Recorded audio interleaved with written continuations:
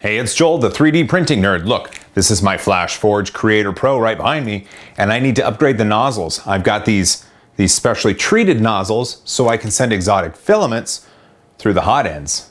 You wanna know how to do it? Good, because I'm gonna show you. You ready? Go.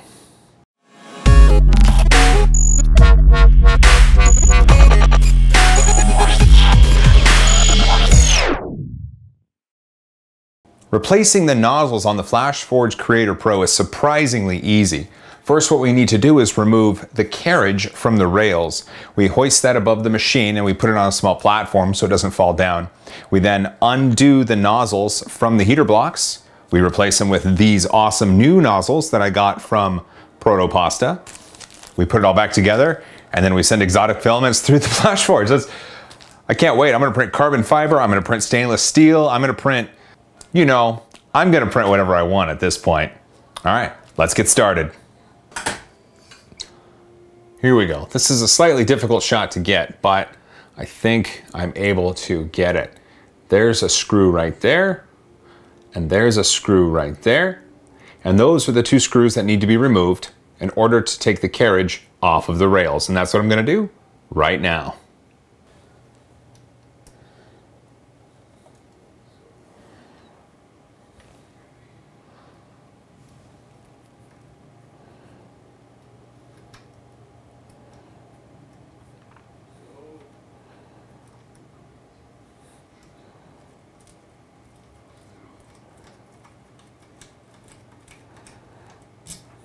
There's one. You see that? There it is, it's tiny. Now we gotta get the other.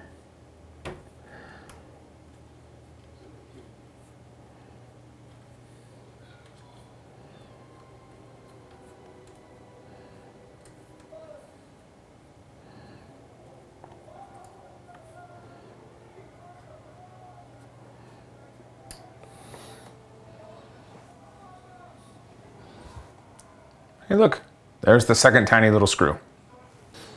At this point, the heater carriage is free and can lift right out.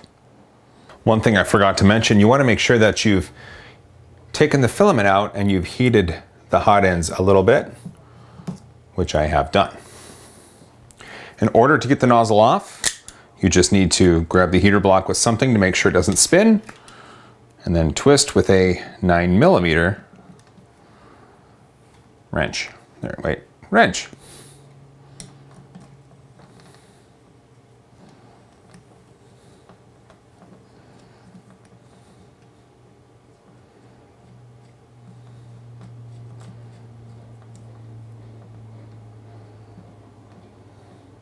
And there it is with the PTFE tubing attached to it.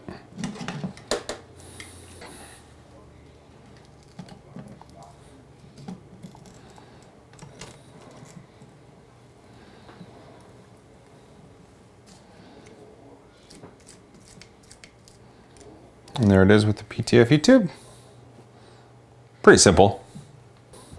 Here we go. So take the PTFE tubing out, get your shiny new nozzle, put the tubing in, put it back in the hole.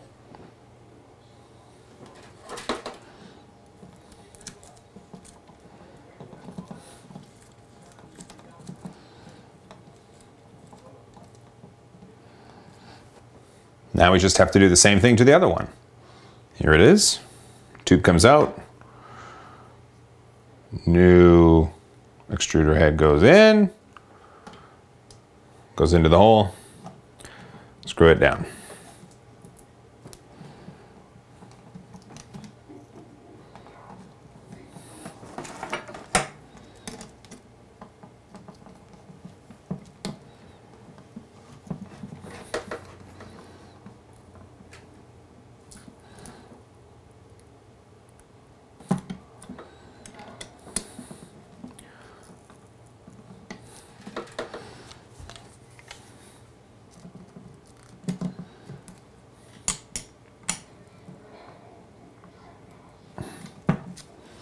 All right, that seems to be pretty tight on there.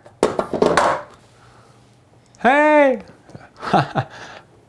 Nozzles are tight. New stuff is in. Let's put it back together. Putting it together always is my favorite part of doing this because it means it's going to be usable again.